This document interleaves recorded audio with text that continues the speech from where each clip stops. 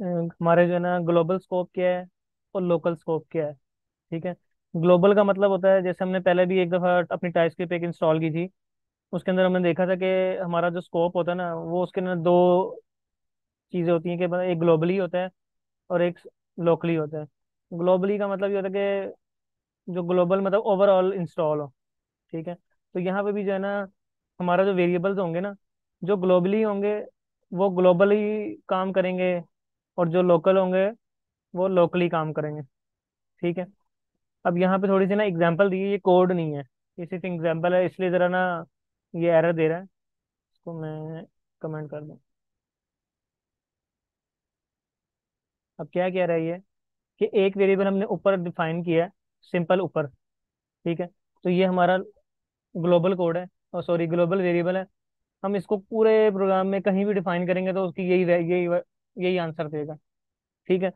लेकिन अगर कोई हम इफ़ कंडीशन के अंदर कोई वेरिएबल कॉल करते हैं, कोई चीज़ बनाते हैं, जिस तरह यहाँ पे मैं कोई भी वेरिएबल को मतलब बना लूँगा तो वो क्या हो जाएगा? लोकल वेरिएबल होगा या लोकल स्कोप होगा। तो जो किसी भी ब्रैकेट्स के बाहर का जो भी स्कोप होता है ना टॉप इधर उधर जो ये सारा होता है ग्लोबल स्कोप लेकिन अगर आप फॉर लूप इफ़ कंडीशन ठीक है? कोई भी मतलब इस तरह की कोई कंडीशन बना लेंगे ना तो वो क्या होगा लोकल कि मतलब जो चीज़ इसके अंदर डिफाइन की होगी ना, वो इसी के अंदर ही काम आएगी। ठीक है, इससे बाहर आप उसको कॉल नहीं कर सकते। ये इसकी एग्जाम्पल्स मैं आपको दिखाता हूँ तो फिर आपको बेहतर आइडिया पता चलेगा। ये तो सिर्फ़ एक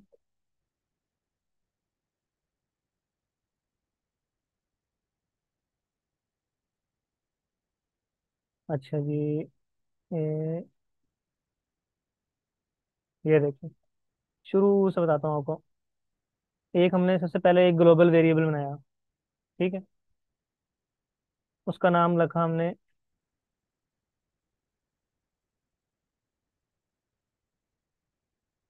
वेरिएबल वन, ठीक है? वो हमने बनाया ग्लोबली फिर हमने एक इफ़ की कंडीशन लगाई, ठीक है? अब ये इफ़ की कंडीशन जो है ना जस्ट एग्ज़ाम्पल के लिए है, ठीक है ना? मतलब कोई वो, इतना वो नहीं है। इसमें क्या हो रहा है?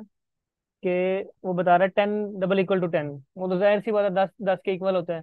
मतलब इसका मतलब है कि हमारी कंडीशन ट्रू हो जाएगी। तो हमारा जो यूज़र अंदर आएगा तो देखेगा अंदर एक लोकल वेरिएबल बना होगा, ठीक है, जो कि इस इफ़ के अंदर काम कर रहा है, ठीक है। अब उसके अंदर एक नेस्टेड इफ़ है। इफ़ के अंदर एक नेस्टेड इफ़ है, ठीक है। मैंने आपको बताया था नेस्टेड क्या होता है, कि एक चीज़ के अंदर दूसरी चीज़ मतलब कि जिस तरह घोंसला होता है घोंसले के अंदर जिस तरह तिनके आपस में, तिनके के अंदर तिनका होता है तो इसी तरह ये इफ़ के अंदर एक इफ़ बना हुआ है, ठीक है? वो भी सेम हमने इसी तरह कंडीशन बना ली कि ट्वेंटी इक्वल टू ट्वेंटी ज़ाहिर सी बात है वो ट्रू होगी तो वो जब इसमें आएगा तो यहाँ पे हमने वेरिएबल एक थ्री के नाम से बनाया हुआ है, ठीक है? अब जो वेरिएबल टू है, ये भी लोकल स्कोप है, लेकिन वो इसी स्कोप के अंदर मतलब चलेगा। और जो वेरिएबल क्या कहते हैं जो हमने थ्री बनाया नीचे, यहाँ पे ये इसके अंदर, इसका इसका स्कोप इसके अंदर है। अब मैंने क्या किया कि यहाँ पे कॉल किया वेरिएबल वन जो कि हमारा ग्लोबली था। हम वेरिएबल वन तो कॉल कर सकते हैं ना, क्योंकि वो ग्लोबली है, वो हर जगह कॉल हो सकता है। लेकिन जो हमने वेरिएबल टू बनाया है और वेरिएबल थ्री बनाया है, क्या हम इसको, इससे बाहर कॉल कर सकते हैं? ठीक है। तो फिर उसके बाद हमने क्या किया कि हमने एक वेरिएबल फाइव बनाया। फिर एक और वेरिएबल एक सॉरी एक और इसकी कंडीशन उसके अंदर वेरिएबल थ्री को कॉल किया। इसके अंदर एक वेरिएबल फोर बनाया लेकिन कॉल किया वेरिएबल थ्री को। तो देखिए जब हमने वेरिएबल थ्री को कॉल किया तो वो एरर दे रहा है। क्यों दे रहा है एरर भाई? क्यों एरर दे रहा है सर अंदर नहीं है ना इसके अंदर मौजूद नहीं है ना? लेकिन अगर मैं यहाँ पे हमारा जो वेरिएबल थ्री है इसको लेट की जगह मैं वेर कर दूँ। ठीक है? एक सेकेंड ठीक है? तो वेर जो है वो भी नहीं इसको ग्लोबल मतलब ग्लोबल और लोकल स्कोप को हटा रहा, ठीक है? तो लेट और कांस्टेंट भी नहीं कर रहा। तो फिर वेर को खत्म क्यों किया गया और वॉर को क्यों बनाया गया? ये क्वेश्चन उठता है ना हमारे पास। ये तो अभी हमारा ग्लोबल और लोकल स्कोप यहाँ तक है ना कि हमने जो ग्लोबल वेरिएबल डिफाइन किया था वो लोकल के अंदर कॉल हो रहा है, ठीक है? लेकिन जो हमने लोकल के अंदर बनाया था वेरिएबल थ्री जो है, वो अगर मैं, कहीं और कॉल नहीं हो रहा। सिवाय इस इस कंडीशन के अलावा। ठीक है ना? जी जी। नेस्टेड इफ़ में जो होगा वो भी वो कॉल हो जाएगा। वो वो उसी स्कोप के अंदर है ना? वो कॉल हो जाएगा। हो जाएगा जी। मैंने एक लगाया फिर मैंने एक लगाया फिर एक लगाया उसके अंदर जो पड़ा हुआ ना उसको मैंने उस स्कोप के अंदर जितने होंगे ना वो सारे यूज़ होते जाएँगे। एक इफ़ के अंदर। इसके अंदर उस जितने ब्रैकेट्स में। अच्छा। ये देखिए ना जो ब्रैकेट यहाँ से स्टार्ट हुई है और यहाँ तक है इसके अंदर जितने होंगे वो आपस में कॉल हो जाएँगे। लेकिन ये वाला एरर नहीं दे रहा। ये वेरिएबल वन जो है ये एरर नहीं दे रहा। हालाँकि ये तो इस इस ऊपर ऊपर वाले इफ़ में कॉल हुआ है। ठीक है ना? लेकिन ये यहाँ पे sorry variable two variable two जो है ये इस इफ़ में कॉल हुआ है ऊपर वाले में। लेकिन वो नेस्टेड में एरर नहीं दे रहा क्योंकि वो इस ब्रैकेट्स के अंदर है ना इसी स्कोप के अंदर है ना इसी लोकल स्कोप के अंदर है ना ग्लोबली नहीं है। ग्लो लेकिन जो वेरिएबल वन है ग्लोबली है तो वो उसके अंदर भी कॉल हो गया। ठीक है? फिर उसके बाद ये हमने ग्लोबल बनाया था। ये भी यहाँ पे नीचे कॉल हो रहा है इजीली लेकिन जो हमने इस लोकल स्कोप के अंदर वेरिएबल थ्री बनाया था, वो वेरिएबल थ्री जो है ना, वो इसके अंदर कॉल नहीं हो रहा। और हमने एक वेरिएबल फोर बनाया इधर, इस स्कोप के अंदर, वो उसको अब लोकली नहीं कॉल कर रहा। ठीक है ना? मतलब वेरिएबल थ्री इस लोकल में था तो वो इस लोकल में कॉल नहीं कर रहा। लेकिन वो अंदर वाले लोकल में कॉल कर रहा है। मतलब इफ़ के अंदर इफ़ में कॉल कर रहा है। ठीक है? लेकिन जो है ना, वो यहाँ पे नहीं कॉल कर रहा। ठीक है? यहाँ पे जो है ना, वो एरर दे रहा है। और यही है, यहाँ पे हमने लोकल में अगर हमने फॉर लूप बनाया था सॉरी वेरिएबल फोर बनाया तो वेरिएबल फोर जो है वो यहाँ पे जो है ग्लोबली कॉल नहीं कर रहा। ठीक है? तो ये लोकल और क्या है ग्लोबल का जो है ना मेन काम ये है। ठीक है? दूसरा ये कि अगर मैंने लेट को नीचे डिफाइन किया है, ठीक है, और मैं उसको ऊपर कॉल करूँ ना, इससे ऊपर, या फिर मैं इससे ऊपर खाली डिफाइन कर लूँ और उसकी वैल्यू लूँ मतलब मैं यहाँ पे वन ना लिखूँ। और यहाँ पे कंसोल लॉग कराऊँ तो मुझे कोई वैल्यू नहीं देगा। मेरा कंसोल लॉग नहीं करेगा। कंसोल डॉट लॉग ठीक है वेरिएबल वन अब देखें ये क्या कर रहा है। एरर दे रहा है। क्यों एरर दे रहा है भाई? क्योंकि उसमें वैल्यू ही नहीं है ना। हालाँकि मैं बेशक नीचे आके इसको वैल्यू दे दूँ। Variable one is equal to मैंने लगे नीचे वैल्यू दे दी है, लेकिन वो नहीं दे रहा। लेकिन अगर मैं इसको वी आर कर दूँ, लेकिन देनी चाहिए इसको। मेरे ख्याल टाइप स्क्रिप्ट में इसलिए नहीं दे रहा, जावा स्क्रिप्ट में दे देगा। अगर मैं इसकी यहाँ से टाइप हटा दें। अगर जावा स्क्रिप्ट के हिसाब से देखें क्योंकि टाइप स्क्रिप्ट हम इसलिए यूज़ कर रहे हैं ना एरर दे। लेकिन अगर हमने उसकी टाइप हटा दी अब ठीक है अब मैं वेर में यूज़ कर रहा हूँ तो वो देखें वो एरर नहीं दे रहा। लेकिन इसकी वैल्यू क्या आएगी? वन है कैसे वन आएगी? जाएगा उधर से कुछ नहीं मिल रहा। चेक करते हैं चला के देखें क्या आएगी। वहाँ उसे कुछ नहीं मिल रहा वो बस कुछ भी नहीं लेकिन वो मेरे ख्याल से अनडिफाइन आएगी।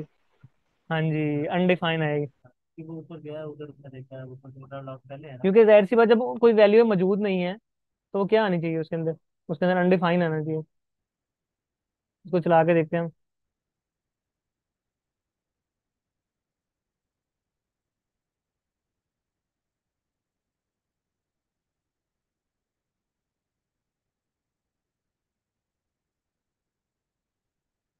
तो देखिए अनडिफाइन आ रही है। लेकिन लेट मैंने जब करता हूँ तो ये वैसी एरर दे देता है। मतलब जावास्क्रिप्ट के कॉन्सेप्ट में भी एरर दे देगा। चल गया है तो इसको सर लेकिन आपने तो वैल्यू दी तो ही है। वन लेकिन वेरिएबल वन जो है मैंने बाद में दी है ना। पहले उसको डिफाइन करके फिर मैं कर रहा हूँ। असल में जावास्क्रिप्ट के हिसाब से मेरे ख्याल में एरर क्यों नहीं दे रहा देना चाहिए था। T S C and node हम देख लेते हैं ना क्या इसकी वैल्यू क्या देता है। लेट में इसकी क्या वैल्यू देता है इसकी? अनडिफाइंड ठीक है। और जावास्क्रिप्ट के हिसाब से दे रहा है लेकिन अगर हम इसको वहाँ पे ट्रांस टाइप स्क्रिप्ट में इस वक्त देगा जब आप स्ट्रिंग वगैरह कुछ लिखेंगे फिर देगा। क्या लिखेंगे? स्ट्रिंग वगैरह मतलब स्ट्रिंग करना या हाँ ज़ाहिर सी करना बात है है टाइप स्क्रिप्ट को टाइप तभी टाइप बताएगा ना। वो देखो साथ ही उसने दे रहा है इसके अंदर, अगर हमने इसको स्ट्रिंग कह दिया है, लेकिन उसके अंदर स्ट्रिंग तो मौजूद नहीं है, ठीक है?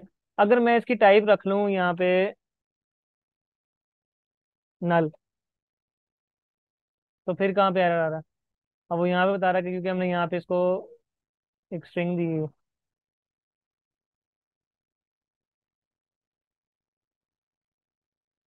ज़ीरो रख के देखें। नहीं नंबर नहीं आ रहा। तो बेसिकली असल में स्कोप का मसला ये है कि ना जो लेट्स है ना उसको हम ऊपर मतलब होस्ट नहीं करा सकते नंबर से पहले। ये हमने होस्ट कराया है ना बेसिकली नंबर से पहले उसको होस्ट कराया है, मतलब यहाँ पे इनिशियलाइज करा रहे हैं लेकिन उसको हमने पहले ऊपर टॉप पे होस्ट करा दिया होस्टिंग करा ली उसकी। लेकिन जब मैंने उसको कॉल किया तो उसकी वैल्यू क्या दे रहा है? अनडिफाइंड ठीक है ना? तो टाइप स्क्रिप्ट के अंदर जो है ना वो होस्टिंग नहीं हो सकती। ठीक है? लोकल लोकली उसकी होस्टिंग नहीं हो सकती। तो इसलिए भी लेट और कॉन्स्टेंट आया। अच्छा कॉन्स्टेंट तो मैंने आपको लास्ट में मैंने बताया था कॉन्स्टेंट क्यों यूज़ होता है। वो नहीं हो सकता। लेट और कांस्टेंट सेम काम करते हैं लेकिन फ़र्क सिर्फ़ कांस्टेंट चेंज हो सकता। कांस्टेंट क्या नहीं हो सकता? चेंज हाँ जी। कांस्टेंट इसलिए यूज़ होता है क्योंकि आप उसके अंदर वो वैल्यू देखते हैं जो चेंज ना होनी हो। जैसे कोई स्पेशल की हो जैसे एज हो एज चेंज होती है। एज नहीं रख सकते कि जेंडर हो। जेंडर रख सकते हैं क्योंकि जेंडर चेंज नहीं होना ठीक है ना? तो ऐसा वेरिएबल जो कि मतलब थ्रू आउट चेंज नहीं होना तो वो हम कॉन्स्टेंट रखते हैं।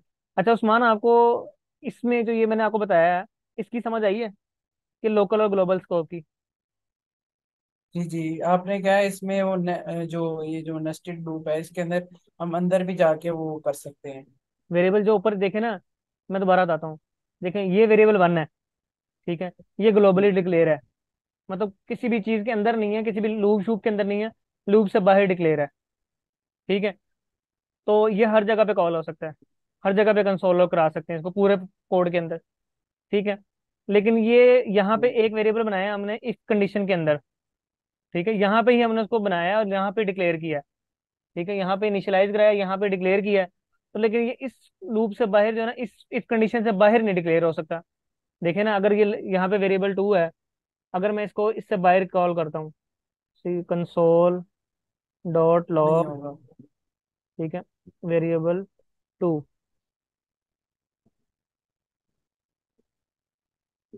ठीक है। कॉल भी नहीं कर सकते यूज़ भी नहीं कर सकते। नहीं कर सकते ना स्कोप से बाहर नहीं यूज़ कर सकते ना। कॉल का मतलब यही मैं कह रहा हूँ ना कि देखो ना जो वेरिएबल में डाटा पड़ा मैं उसको उसको कह रहे हैं ना कंसोल लॉग कराओ। बेसिकली उसको ये कह रहे हैं ना जो वेरिएबल में डाटा पड़ा उसको कॉल करके कह रहे हैं कंसोल लॉग कराओ। वैसे तो फ़ंक्शंस में कॉल होती है लेकिन मैं बस बता रहा हूँ कि बेसिकली वैल्यू तो वहाँ पड़ी हुई है इसके अंदर। तो क्या देखे ना जो इसके अंदर दो वेरिएबल हमने डिक्लेयर किए थे। एक वेरिएबल टू किया और एक वेरिएबल थ्री किया ना वेरिएबल टू डिक्लेयर हो रहा बाहर ना वेरिएबल थ्री इससे बाहर डिक्लेयर हो रहा। है ठीक है? अब वेरिएबल फाइव हमने ग्लोबली डिक्लेयर किया था तो वो देखें इजीली इसका आंसर आ रहा है। अगर मैं इसको टी एस सी नोट करूँगा तो वो देखें साथ ही मुझे वो एरर दे देगा। कि जी ये ये जो है ना आपके ग्लोबली डिक्लेयर नहीं है। लोकली डिक्लेयर है तो आप इसको उस स्कोप से बाहर नहीं कॉल कर सकते, या उसके स्कोप से बाहर रन नहीं कर सकते। देखिए, उसने एरर दे दी है। ठीक है ना? कह रहे where two is not defined ठीक है ना? वो कहाँ पे डिफाइन है? वो यहाँ पे डिफाइन है। अच्छा हाँ एक और चीज़, अगर मैं यहाँ पे लेट यहाँ पे अगर मैं डिफाइन कर लूँ वार टू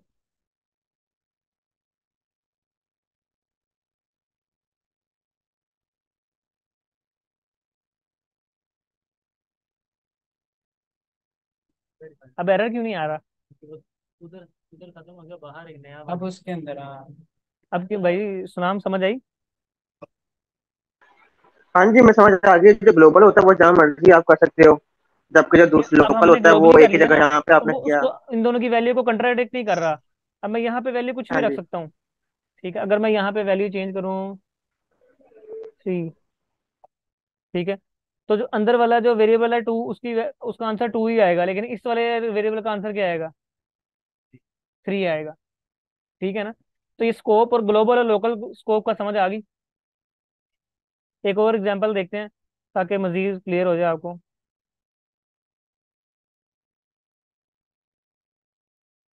दूसरी एग्जांपल है फ़ंक्शन की। ठीक है? फ़ंक्शन मतलब इसकी कंडीशन से तो कर देख रहे हैं ना हमने, इसको फ़ंक्शन के हिसाब से देखते हैं। कि फ़ंक्शन में क्या स्कोप होता है? एक हमने फ़ंक्शन बनाया टेम्परेचर कन्वर्टर ठीक है? उसके अंदर हमने एक सेल्सियस टाइप का जो है ना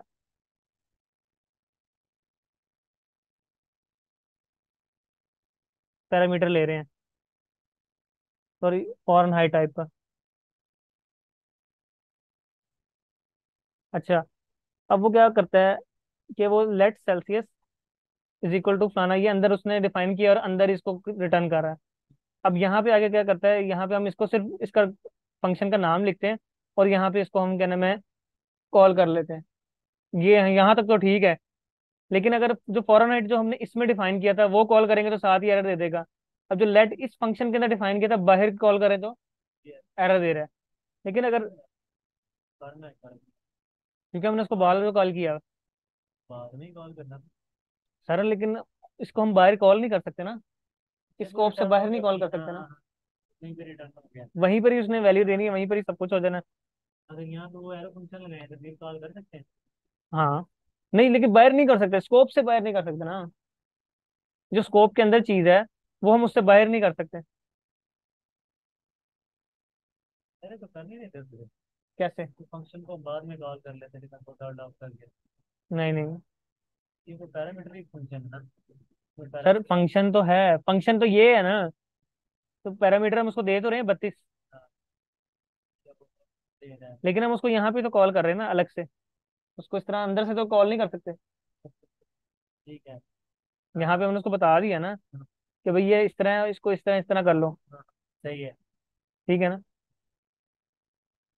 समझ आ गई कि नहीं? हाँ। ये देखे ना ये लोकली डिक्लेयर हुआ है ना। लेकिन हम उसको ग्लोबली कॉल करें तो कॉल ही नहीं हो रहा। अच्छा जी। इसके बाद दूसरी चीज़ देखते हैं मॉड्यूल्स बड़ी इंपॉर्टेंट चीज़ है। ठीक है जी। अब मॉड्यूल्स में क्या हो रहा है कि दो चीज़ें।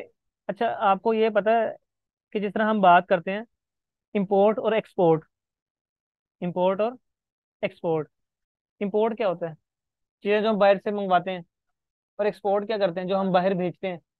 अब वो कहता है कि इंपोर्ट करो फ़र्स्ट से और सेकंड से, लेकिन हमने फ़र्स्ट और सेकंड से फ़ाइल बनाई नहीं है। तो हम यहाँ पे क्या करते हैं, अपने प्रोजेक्ट के अंदर एक फ़र्स्ट डॉट टी की फ़ाइल बनाते हैं। ठीक है जी। और दूसरी कौन सी बनेगी? एक बनेगी दूसरी second dot T S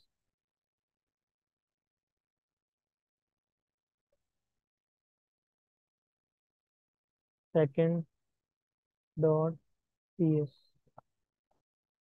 ठीक है? जो फ़र्स्ट डॉट टी एस है, उसके अंदर हम रखते हैं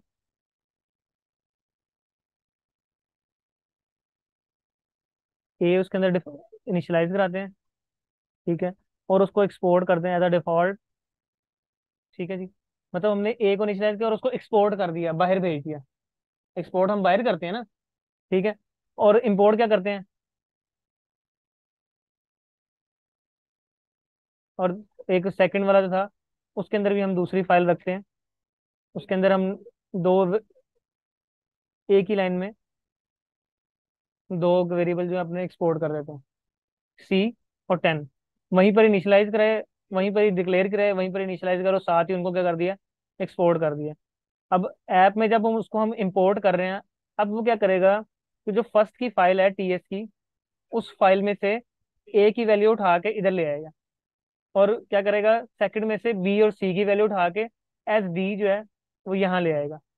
ठीक है? सॉरी बी की वैल्यू वैसी और सी को एज अ डी सी को कंसीडर करेगा वो डी है तो यहाँ पे हम डी कॉल कर लेंगे।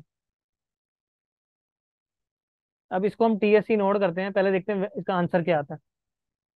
इम्पोर्ट और एक्सपोर्ट समझ रहे हैं आप? ये इम्पोर्ट और एक्सपोर्ट है।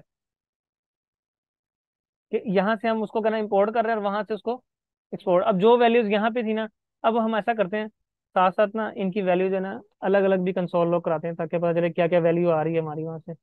कंसोल डॉट लॉग के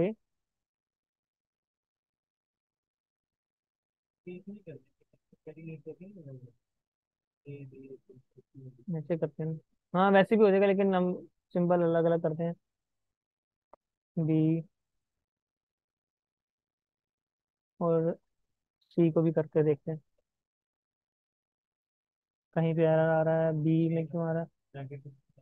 करते हैं। एक ब्रैकेट रिमूव हो गया। अच्छा सी को हमने एज अ डी किया था तो वो डी कॉल होगा। ठीक है जी अच्छा जी। इनको अब करते हैं। तीनों की वैल्यू भी प्रिंट होंगी, साथ उनका सम भी प्रिंट होगा। ठीक है जी, पाँच, दस, दो। अब यहाँ पे जाते हैं हम, पहले फ़र्स्ट में जाते हैं। फ़र्स्ट और टीएस में जाके पहले ए की वैल्यू करते हैं हम यहाँ पे टेन और सेकंड में आके ट्वेंटी और इसकी वैल्यू ट्वेंटी थ्री ठीक है? अब इसको ऐप डॉट टी एस में कॉल करते हैं। तो देखें, जो वैल्यू वहाँ पे हमने चेंज की है वो वहाँ से चेंज होके यहाँ पे इम्पोर्ट हो गई दस बीस तेईस और टोटल फिफ्टी थ्री ठीक है बनाया हमने वहाँ पे है जो कुछ सारा काम कम वहाँ पे किया है लेकिन उसको इम्पोर्ट कर लिया यहाँ पे। ठीक है ना? तो एक, जिस तरह हमने यहाँ पे हमारे पास फ़ाइल बन गई है उसको हम वहाँ से हम एक्सपोर्ट कर रहे हैं और यहाँ पे इम्पोर्ट कर रहे हैं। ठीक है? इसका पर्पस क्या है वैसे? मुझे पर्पस समझ नहीं आया सर। मैं पर्पस बताता हूँ आपको। पर्पस इसमें ये है जैसे आप चैट जीपीटी यूज़ कर रहे हैं, ठीक है? और आपकी एक इधर वेबसाइट है, आप उसको चैट जीपीटी का जो रिस्पॉन्स है ना, वो अपनी वेबसाइट में लाना चाहते हैं। तो दरमियान में एक मिडलवेयर यूज़ होगा एपीआई। एपीआई क्या करेगा? वो बैक एंड पे, ठीक है? ये फ़र्स्ट डॉट टीएस के अंदर जो है ना, वो उसका रिस्पॉन्स कलेक्ट करेगा। पहले यहाँ से हम रिस्पॉन्स भेजेंगे, ठीक है? वो इसको, एपीआई को, जो यहाँ पे हमारे फ़र्स्ट डॉट टीएस में होगी, वो भेजेगा चैट जीपीटी को। चैट जीपीटी उसका रिस्पॉन्स जो है ना कलेक्ट करके फिर वापस उसके रिस्पॉन्स में दोबारा रिस्पॉन्स भेजेगा। उसकी रिक्वेस्ट में रिस्पॉन्स भेजेगा। वो रिस्पॉन्स जब आएगा ना वो इस इधर आएगा और ये इसको कन्वर्ट करके जो है ना हमारे मेन पेज पे भेज देगा। ठीक है? कुछ चीज़ें होती हैं जो खुफी होती है जो हमने फ्रंट पेज में हमने शो नहीं करनी होती। जैसे हमारी कुछ स्पेशल कीज होती हैं जिस तरह हम स्ट्राइक का काम करते हैं पेमेंट गेटवे बनाते हैं तो वो हम बैक एंड पे पेजेस में बनाते हैं। उसको हम फ्रंट एंड पे शो नहीं कराते। ठीक है? तो उसकी जो उसका जो डाटा जो है ना सिर्फ़ उसका रिस्पॉन्स कॉल करते हैं। बाकी सारा काम उसके है पीछे कर रहे होते हैं। लेकिन जो मेन काम होता है ना उसका रिस्पॉन्स होता है जो मतलब एट दी एंड बताना चाहिए हाँ जी आपके पैसे पे हो गए हैं। हाँ जो मैसेज हाँ करना है हाँ वो मैसेज हम फ्रंट पे कॉल करते हैं बस। मतलब वही होगा ना कुछ चीज़ें हम कस्टमर को नहीं देना चाहते वो हाँ अपने कस्टमर को बताना नहीं चाहते वो हम फिर बैक एंड पे बना के फ्रंट एंड पे कॉल कर लेते हैं। अभी मैं एक हाँ और चीज़ कराऊँगा ना आपको मजीद इसका क्लियर हो जाएगा इम्पोर्ट और एक्सपोर्ट का। ठीक है? अच्छा जी, इसकी एग्ज़ाम्पल टू देखते हैं। एग्ज़ाम्पल टू में कह रहा है कि एक यहाँ पे हमने एक एक्सपोर्ट फ़ंक्शन लेते हैं। ये हम फ़िलहाल इसके अंदर रख लेते हैं, बल्कि एक अलग से बनाते हैं। हेलो डॉट टी एस ठीक है, इसके अंदर हमने अपना ये रख लिया एक्सपोर्ट फ़ंक्शन ठीक है फ़ंक्शन है लेकिन एक्सपोर्ट कर रहा है। एक्सपोर्ट कर रहा है और क्या एक्सपोर्ट कर रहा है? सिर्फ़ एक कंसोल लॉग की स्टेटमेंट एक्सपोर्ट कर रहा है, ठीक है? और जो मेन हमारा कोड है, उसमें हम क्या करेंगे? इसमें हम इसको इंपोर्ट करेंगे इस फ़ंक्शन को, ठीक है? इसमें इंपोर्ट करेंगे कैसे? हम इसको बताएँगे कि भाई, तुम हेलो वर्ड को ले आओ हेलो वर्ड के फ़ंक्शन को ले आओ, कौन सी फ़ाइल से? App dot J S J. S S से लिख लें आप टी एस से लिख लें, जो आपको खाली खाली, अभी यहाँ पे कम फ़ाइल है तो आप खाली नाम भी लिख देंगे तो कोई मसला नहीं हो। नाम से पिक कर लेगा भाई कौन सी है। जहाँ पे नाम की दो फाइलें होंगी तो फिर आप वहाँ पे जो है ना उसका बता देंगे जे एस है टी एस है, ठीक है? Hello dot J S hello dot T S या हेलो डॉट हम बाद में कुछ और बना लेते हैं। बैकएंड की कोई मॉड्यूल बना लेते हैं। तो फिर हमें ये मतलब इसलिए उसको डिफाइंड करनी है, कौन सी वाली हेलो फ़ाइल कॉल करनी है। तो हमने हेलो लिखा तो वो ऑटोमेटिकली जो है ना वो टीएस की जो है ना फ़ाइल जो है ना टीएस की उठा ले जेएस की उठा ले। एक ही बात है, ठीक है? लेकिन अगर हम यहाँ टीएस लिख देंगे तो वो खाली टीएस में से जाके जो डाटा होगा वो उठा लेगा। बनाइए अभी वो ना, वो नहीं की उसको कंपाइल नहीं किया ना, ठीक है? जब उसमें से हेलो को कॉल करे तो उसमें से सिर्फ़ क्या कॉल हो? सिर्फ़ एक फ़ंक्शन कॉल हो, ठीक है? अब जो फ़ंक्शन जो कॉल होगा उसकी वैल्यू क्या होगी वो देखते हैं क्या होगी।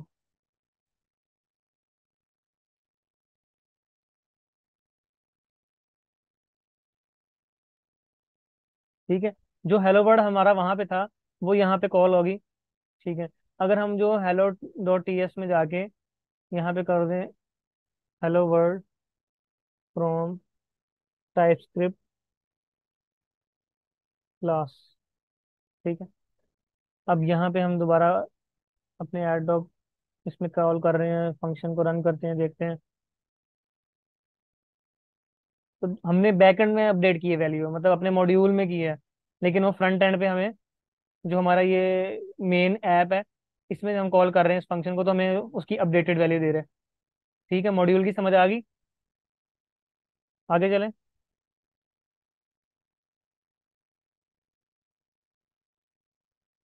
अच्छा जी।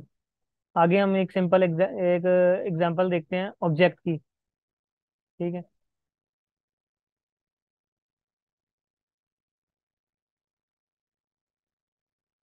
ये एक ऑब्जेक्ट हमने बनाया है टीचर टाइप का। नाम लिख दिया, उसका एक्सपीरियंस लिख दिया इतने साल का। इसको हमने पहले भी बताया था कि दो तरीके होते हैं। एक डॉट मेथड होता है और ये दूसरा, ये इंडेक्स के तौर पे दूसरा, ये दूसरा मेथड होता है। दो मेथड होते हैं। दोनों से हम काम करेंगे, दोनों सेम काम करेगा। दोनों इसमें से वैल्यूज़ उठा के लाएगा। पहला वाला जो है वो नेम उठा के लाएगा, दूसरा वाला क्या लाएगा, उसका एक्सपीरियंस उठा के लाएगा। ठीक है? एक ब्रैकेट नोटेशन थी और एक डॉट नोटेशन थी। ठीक है?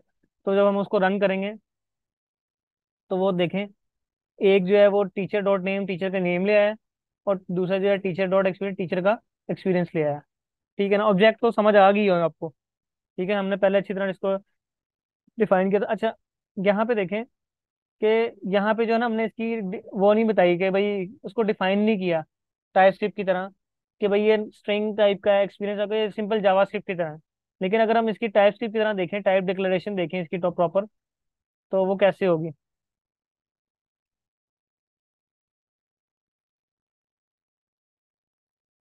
पहले हम इसको डिक्लेयर करेंगे, ठीक है? स्टूडेंट एक ऑब्जेक्ट बनाएँगे, उसको बताएँगे, जी नेम जो होगा स्ट्रिंग टाइप का होगा एज क्या होगी उसकी नंबर टाइप की होगी। नीचे हम उसको फिर इनिशियलाइज करेंगे, कि नेम में क्या रख देंगे, रखवा देंगे उसका नाम और एज में उसकी एज फिर उसी तरह उसको एक डॉट नोटेशन और एक ब्रैकेट नोटेशन दोनों तरह कॉल करेंगे और उसको रन करके देखेंगे। ठीक है? तो देखें आप, उसी तरह उसको नेम बता देगा और उसकी एज बता देगा। ठीक है? ये आपको ऑब्जेक्ट है। ऑब्जेक्ट असल में ना बहुत काम आने हैं। इसलिए मैं कह रहा हूँ कि आप जो है ना अच्छा अब आगे जो है ना काफ़ी टास्क ऐसे हैं कि जिसमें ना अगर हम नॉर्मल इसका डिफरेंस क्या है? ये दो अलग अलग क्यों है? हम सेम डॉट की मदद से कर रहे हैं। यार इसमें तो ना मैंने लास्ट टाइम बताया था कि ये हाँ आप लेक्चर आप वीडियो देखेंगे ना आपको समझ आ जाएगी। उसमें मैंने ये बताया था कि ना आपके ऊपर ना कंडीशन पर डिपेंड करता है कि कौन सा यूज़ करना है। अब आपने एक स्पेसिफिक जगह पे जो है ना क्या कहते हैं जिस तरह कोई अरे की तरह ऑब्जेक्ट है ठीक है कोई काफ़ी ज़्यादा उसमें डाटा है तो आपने स्पेसिफिक किसी मतलब इंडेक्स पे जाना है तो आप स्पेसिफिक इंडेक्स में जब क्या करेंगे यहाँ पे सिर्फ़ उसका इंडेक्स एंटर कर देंगे ठीक है ना? मतलब जिस तरह अगर सौ बंदे हैं तो आपको कहना मैं नब, नब्बे नंबर के इंडेक्स पे चाहिए। तो आप यहाँ पे उसका नब्बे नंबर का इंडेक्स ऐड कर देंगे। तो वो आपको नब्बे नंबर का इंडेक्स का जो स्टूडेंट पे होगा ना उसका डाटा ला देगा ठीक है? मतलब यहाँ पे दो दो चीज़ें डिक्लेयर है ना लेकिन अगर यहाँ पे बहुत ज़्यादा हो ठीक है? लेकिन अगर जो एज है ना जब आपको स्पेसिफिकली पता हो कि आपने कौन सी चीज़ कॉल करनी है तो आप डॉट मेथड से कॉल करेंगे। ठीक है? सही है सही है मैं समझ गया हूँ ठीक। उसने ऊपर एरे की वो भी दी गया क्या कहते हैं ब्रैकेट्स हाँ जी। एरे वाली। वो वो ये इसलिए बनी है ना कि ये इंडेक्स के लिए रेफरेंस है ना कि आपने सिर्फ़ रेफरेंस पास करना है उसने ऑटोमेटिकली वहाँ से चीज़ उठा के ले आनी है। ये ब्रैकेट्स के हाँ अंदर जी जो सही ये ब्रैकेट्स बनी हुई है स्क्वायर ब्रैकेट इसके अंदर आपने रेफरेंस पास करना है कि भाई ये वाली प्रॉपर्टी उठा के ले आओ। उसने उठा लानी है। सही सही। ठीक है ना? अच्छा दूसरी चीज़ यार हमने पहले भी बात की थी कि हम जो है क्या करेंगे कि यूज़र से इनपुट लेंगे ठीक है ना? तो वो यूज़र से इनपुट लेने के लिए मैंने आपको बताया था कि क्या करेंगे हम यहाँ पे एक हमारी कमांड होती है नोड के अंदर एनपीएम के अंदर मैंने आपको बताया था एनपीएम की वेबसाइट पे जाएँगे ना वहाँ पे आप लिखेंगे प्रॉम्प्ट स्ट्रिंग वहाँ पे एक आ जाएगी एनपीएम इंस्टॉल प्रॉम्प्ट स्ट्रिंग तो हम पहले अपना एक प्रॉम्प्ट स्ट्रिंग को जैसे इंस्टॉल करेंगे ना तो ये इंस्टॉल होना शुरू हो जाएगा। और ये इंस्टॉल होके हमारे मॉड्यूल में आ जाएगा, ठीक है ना? जो चीज़ हम इंस्टॉल करते हैं, हमारे मॉड्यूल में आ जाती है। हमारे नोड क्योंकि एनपीएम की कमांड है ना नोड की कमांड है तो ये नोड के मॉड्यूल में चेक करेंगे हम। तो यहाँ पे देखिए, यहाँ फोल्डर में हमारे पास एनपीएम का एक मॉड्यूल आ गया। सॉरी प्रॉम्प्ट सिंह का नोड के अंदर एक मॉड्यूल आ गया। पहले हमने टाइप्स डिफरेंट मॉड्यूल किए थे तो यहाँ पे हमारे पास प्रॉम्प्ट सिंह का भी मॉड्यूल आ गया। ठीक है? अब क्या करेंगे, हमने इस, ये प्रॉम्प्ट सिंह को यहाँ से इंपोर्ट करेंगे अपने मेन फ़ंक्शन में। यहाँ पे पढ़ा मैंने बैकेंड में फ़ाइल में पढ़ा ना, अब देखो ना, ये पीछे हमारे फ़ाइल पड़ी है प्रॉम्प्ट सिंह इसको हमने इंपोर्ट करना है अपने फ़ंक्शन में। इसको हमने इंपोर्ट करना है अपने फ़ंक्शन में। इसका फ़ंक्शन हमने यूज़ करना है, ठीक है? तो हम इसको इंपोर्ट करेंगे।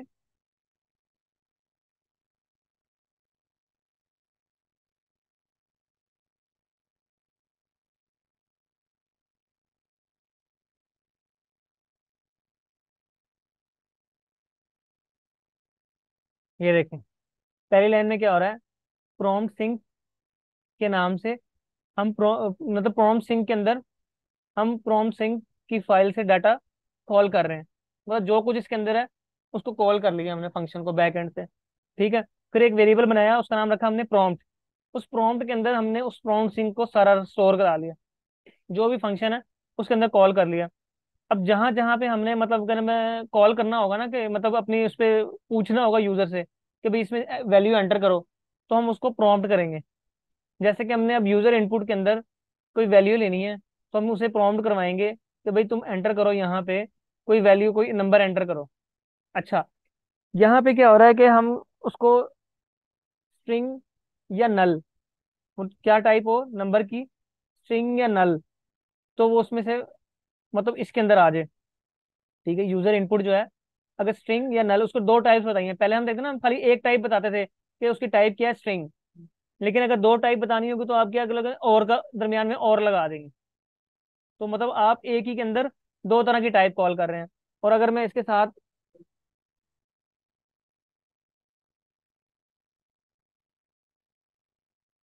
नंबर भी लगा देता हूँ तो नंबर भी लग जाएगी टाइप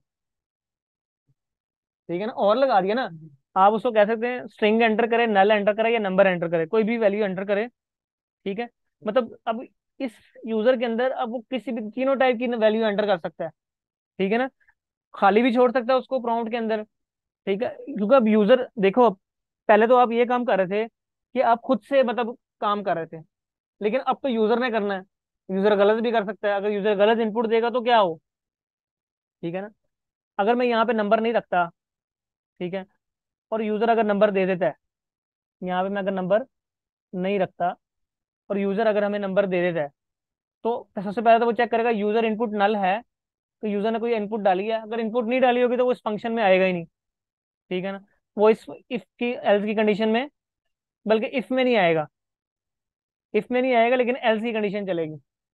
इफ़ में नहीं आएगा, लेकिन एल्स की कंडीशन चलेगी। क्योंकि अगर इफ़ नहीं होगा, अगर वो नल नहीं होगा तो कहेगा नो इनपुट प्रोवाइडेड कोई इनपुट दी नहीं है आपने। ठीक है ना? तो वो क्या करेगा यूज़र की वैल्यू अगर नल नहीं होगी अगर उसने कोई वैल्यू एंटर कर दी है तो वो चेक करेगा कि जो हमारी वैल्यू है इस यूज़र इनपुट है अगर तो वो नंबर है या स्ट्रिंग उसने एंटर किया तो उसको कन्वर्ट कर देगा किसमें? इंट में कन्वर्ट कर देगा मतलब उसको कन्वर्ट कर देगा नंबर में। उसको नंबर में कन्वर्ट करके इस न, इस वैल्यू के अंदर इसके अंदर स्टोर करा देगा। नंबर्ड नंबर एंटर्ड ठीक है? ये नंबर एंटर्ड एक वेरिएबल है कांस्टेंट टाइप का। ठीक है? इसके अंदर उसने यूज़र की इनपुट स्टोर करानी है, लेकिन एज अ किस तरह करानी है? एज एन इंटीजर करानी है नंबर एज अ नंबर करवानी है। ये जो पार्स इंट है ना यह कर रहा है कि अगर उसने कोई एबीसी भी एंटर कर दिया तो उसको एज अ इंटीजर इसमें सेव कराएगा। कराएगा उसको एज अ इंटीजर ही सेव वो देखेंगे ना, अब दोनों तरह तरीके से चेक करके देखते हैं ना क्या होता है। ठीक है ना? तो वो अगर कह रहा है इफ़ इसके अंदर असल में देखिए सर अगर नंबर आया तो ठीक है लेकिन इफ़ नॉट अ नंबर अगर वो नॉट अ नंबर है ठीक है मतलब सॉरी इज़ एन एन का मतलब होता है not a number. N N इसका मतलब नॉट अ नंबर लेकिन ये हमने जब ये नॉट लगा दिया ना ये जो एक्सक्लेमेशन मार्क है इसका मतलब होता उल्ट कर दो हमने गेट नहीं पढ़े थे और गेट नॉर गेट तो जिस तरह हमने यहाँ पे और लगाया तो ये नॉट गेट है अगर वो नॉट अ नंबर है तो उसको नंबर कर नंबर दस अगर वो नंबर है इस कंडीशन का मतलब है कि अगर वो नंबर है मतलब उसने एन ए एन को नॉट अ नंबर की कंडीशन को उल्ट कर दिया कंडीशन को एक्सक्लेमेशन मार्क लगा के रिवर्स कर दिए हाँ। जी। नहीं नहीं खाए आप। हाँ उल्ट हो जाता ना? हाँ जी। ठीक है ना? तो वो एक कंडीशन ट्रू हो जाएगी तो बता देगा, आपने ये नंबर एंटर किया, वो नंबर जो एंटर किया होगा, वो नंबर प्रिंट करा देगा। ठीक है? अगर उसने नंबर एंटर नहीं किया एबीसी में से कोई नंबर कर दे तो वो एल्स इफ़ में आ जाएगा। सॉरी एल्स इस वाले नेस्टेड इफ़ एल्स के एल्स में आ जाएगा कि भाई आपने इनवैलिड इनपुट एंटर की है please enter valid number please enter valid number ठीक है? और अगर आपने कुछ भी नहीं एंटर किया ठीक है ना? ये देखना अगर नल नहीं है तो अंदर आ रहा था ना। अगर वो नल होगा तो क्या कर देगा? नो इनपुट प्रोवाइड है तीनों इनपुट ऐड करके देखेंगे जरा। इसको चलाते हैं हम।